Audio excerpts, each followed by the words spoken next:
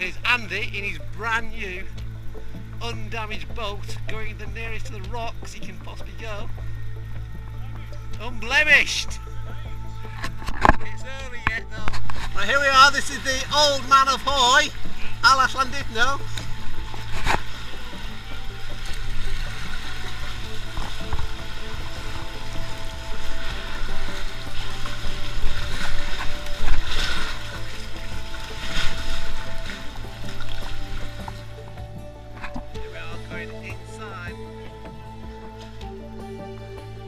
Ha ha ha!